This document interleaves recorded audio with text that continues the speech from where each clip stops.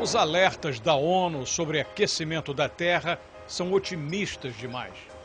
O planeta, como o conhecemos, está mudando e parte dos seres humanos que o habitam não conseguirá sobreviver. Combater o problema com redução nas emissões de carbono, extraindo energia de vento, maré ou biocombustíveis seria perda de tempo. Uma das poucas medidas que ainda vale a pena tomar para salvar parte da raça humana é apelar para a energia nuclear. Esse diagnóstico controvertido e catastrófico não vem de grupos místicos à espera do fim do mundo ou de extremistas ecológicos em busca de apoio para suas campanhas. Quem o apresenta é o respeitado cientista britânico James Lovelock, considerado um dos grandes, se não o maior dos ambientalistas. Ele é, por certo, um dos pioneiros, porque há quase meio século criou o conceito de Gaia, que vê a Terra como um organismo vivo que se autorregula. Lovelock, em breve, vai completar 90 anos. Ele acaba de lançar mais um livro que se junta a 200 trabalhos científicos sobre meio ambiente. Lovelock nos recebeu para uma conversa em sua casa em Cornwall, sudoeste da Inglaterra. Your new book, The Vanishing Face of Gaia, suggests that it may actually be too late to save the Earth. Uh, why do you think it's, uh, we've gotten to this point? Well, if you look back at the Earth's history, it tends to be comfortable in one of two states, either cold, a glaciation, uh, ice age, or quite hot, about five degrees hotter than now. And in those states, it stays stably for periods as long as hundreds of thousands of years.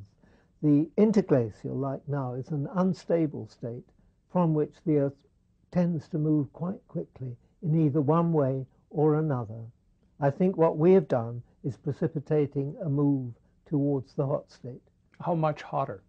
Five degrees Celsius globally. Five degrees is just the average when you talk about the whole. For the whole a few places would be quite yes. a lot more than that. Yes. The, the overall forecast that we hear, and, and scary enough, talk about 2%, uh, like the IPCC from the United Nations. But do you think they're underestimating it? I think th there are two reasons for their underestimate. One is their, the models on which they base their estimates of the future climate are really what you might call sophisticated weather forecast models. And they're not bad, they're, they're good science, good, well, well established, but we don't know enough yet about the behavior of the whole Earth system to make models that are truly predictive. And so what they're suggesting, I wouldn't call it guesswork, but it's not as reliable as it should be.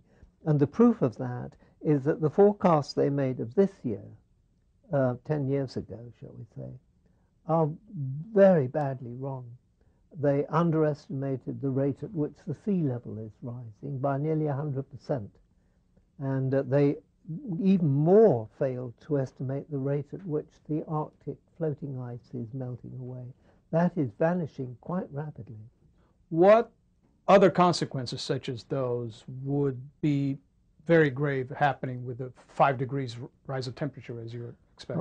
Well, for people in Brazil, they should worry because uh, some quite good uh, scientific estimates suggest that considerably lower than five degree rise would be enough to destabilize the Amazon forest uh, altogether and cause it to revert to kind of savanna, scrub, desert, that kind of thing. And you think that is going to happen?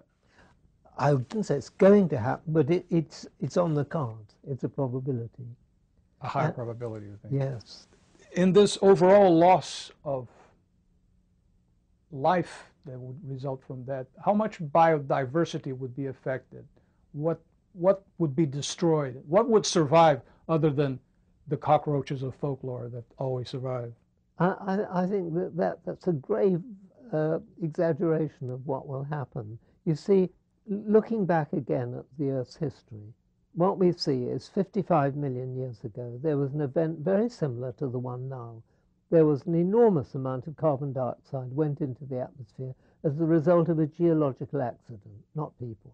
But it amounted to the same thing. And up shot the temperature about 5 degrees Celsius the polar ocean became so warm that tropical animals lived there. The, the water temperature was 23 Celsius. We have good records of that. And there were animals like crocodiles swimming around in the, near the North Pole. So what we're talking about is a shift, not necessarily a destruction right. of species, but yes. they will move to other areas.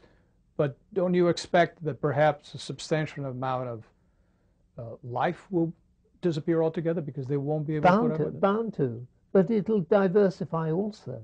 You see, those regions where the tropical forest moves up to uh, could become quite biodiverse, provided they're not the forest isn't all taken down to have farmland to feed people. But what we're going to face is a kind of a Darwinian process of adapting to a different environment. Adapting is what we have to do. We have to accept that the climate is changing, whatever we do, and not spend all our efforts trying to stop it changing, uh, but try to work out how best to adapt with a minimum damage to human to civilization to people.